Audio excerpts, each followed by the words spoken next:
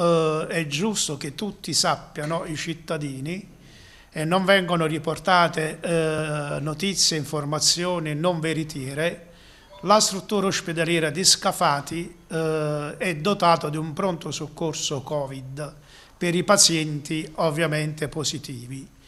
Nel momento in cui il paziente deve essere ospedalizzato, il 118 lo trasporta presso la nostra struttura ospedaliera. Al momento nell'ambito della nostra ASL il pronto soccorso Covid è presente solamente sull'ospedale di Scafati. Questi pazienti, eh, ovviamente, se abbiamo disponibilità, una volta stabilizzati e una volta valutati, vengono ricoverati normalmente.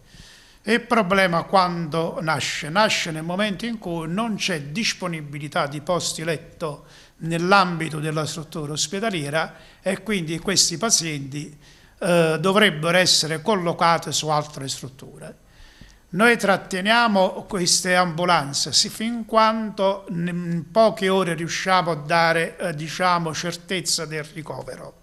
Nel momento in cui non abbiamo questa possibilità, io credo che eh, la centrale operativa si deve far carico di un trasporto secondario presso strutture ospedaliere Covid che diano ospitalità a questi pazienti.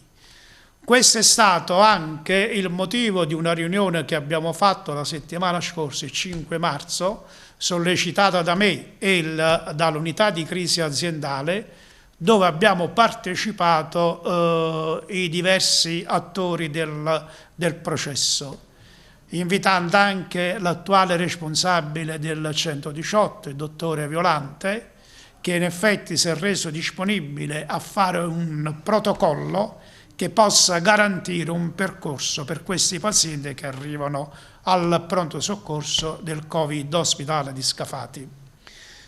Uh, questo è un verbale, lo faccio solo vedere uh, per dare uh, anche con, contezza di quello che stiamo facendo, che in effetti per evitare questo, questo disagio organizzativo, principalmente ai pazienti che rimangono per molte ore sulle ambulanze, che eh, ritengo che non sia morale eh, da un punto di vista eh, eh, diciamo etico. etico tenere queste persone su queste però dico che è una situazione complessa che stiamo cercando di affrontare e credo che eh, se riusciamo a portare avanti questo protocollo potremmo risolvere il problema eh, sta, di cui si sta parlando.